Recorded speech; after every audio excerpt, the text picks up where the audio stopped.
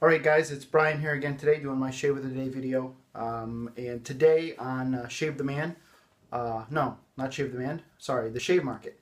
Uh, Chad Irish, um, one of the administrators there, uh, had come up with the idea of doing a budget-friendly or frugal Friday uh, shave.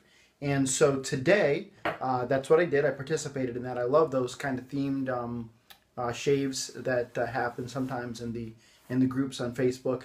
Um, Chris Bailey has done a number of them uh, honoring certain artisans, and uh, it's it's always fun to be a part of that. And uh, so today, uh, well, again, was in the shave market, and it was uh, kind of a frugal Friday type thing. One of the things when you get into wet shaving, I think, and this is something that in my uh, 12 days of Christmas or, or sorry, 12 days of shaving series that I'm doing, I'll talk about a little bit, but. Um, you know, when you, you get into to wet shaving, it can be kind of overwhelming and there's just so many different choices. But you don't have to spend a lot of money to have a great shave. You don't. Uh, I love the Marfin brushes. I would love to own one, but you don't have to spend 300 plus dollars on a brush. You just don't. Um, you know, some of these razors that are, that are you know uh, you know over a hundred dollars, beautiful, but you don't have to spend over a hundred bucks to have a great shave. Um, you know, the, the Martin de Candre soaps, over $70 for a tub of that. Uh, you don't have to spend that much money to have a great shave. Now, if you can afford it, great. And I've never tried Martin de Candre. I've never tried, you know, the higher end, uh, the razors.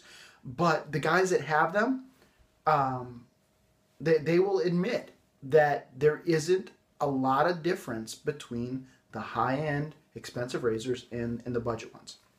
So, with that being said, let's get right into what I use today for my um, my my shave. All of this gear that I had today cost me less than 30 bucks. Less than 30 bucks.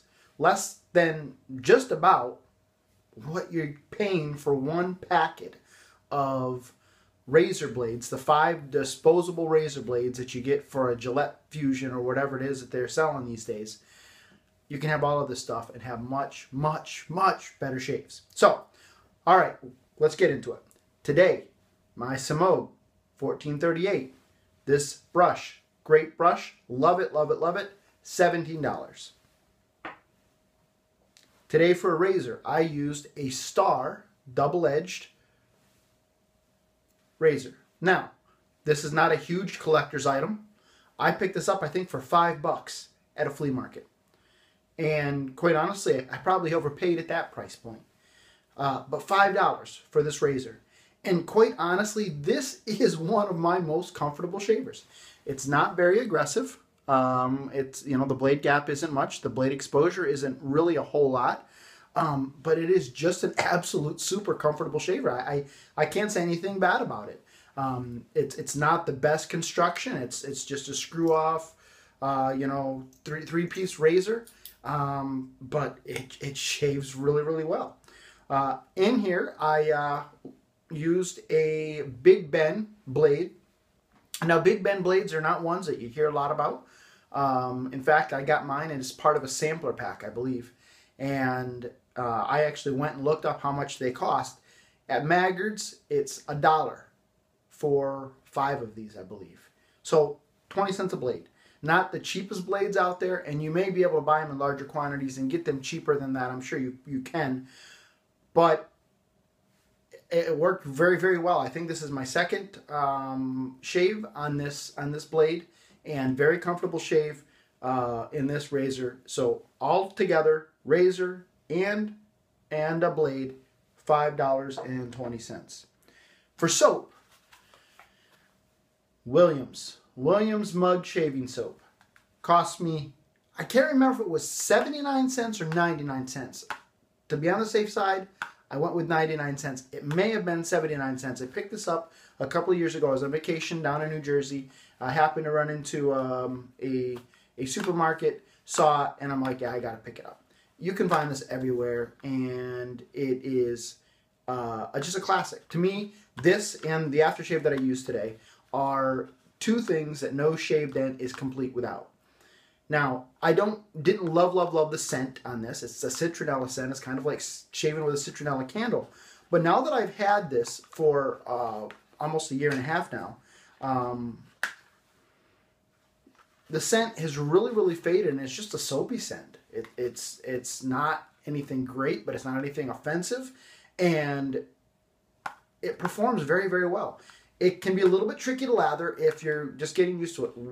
But the trick on this is take the puck, drop it in some hot water while you're taking your shower. When you get out, it's going to be softened up and it is going to load with a very thick, creamy lather and it will perform very well. If I had to shave only with Williams soap for the rest of my life, I would not be a heartbroken man. This stuff is that good. Um, it's cheap, but it performs very, very well, and there's just nothing bad to say about it. Um, you know, there's other soaps that I have that maybe perform better um, that, that I have that I, I love the scents on, uh, but it, for 99 cents or 79 cents, whatever it is I paid for it, you can't go wrong with it. And then finally today, I finished up with Pinaud Clubman. Um, again, to me, no den is complete without this. Uh, Five dollars for this large um, bottle of of aftershave, and it's just a classic. So again, today, seventeen dollar brush, five dollar razor with a twenty cent blade. 79 cent or 99 cent, we're going to say 99 cent um,